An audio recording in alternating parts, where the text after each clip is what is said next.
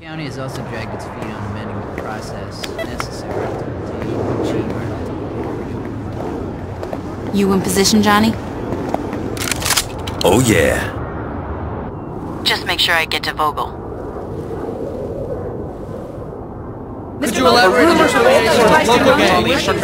As most of you know, the Ultor Board of Directors were assassinated the other night, and while we at Ultor would like to take the time to mourn their passing, sadly that's a luxury we don't have.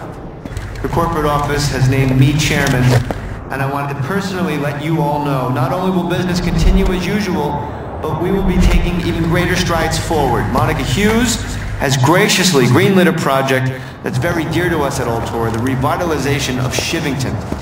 In the coming days...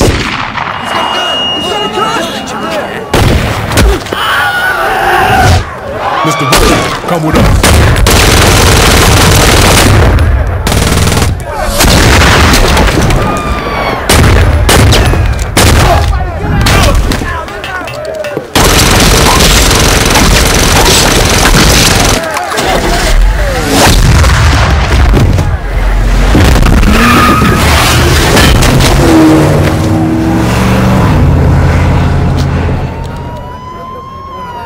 Huh?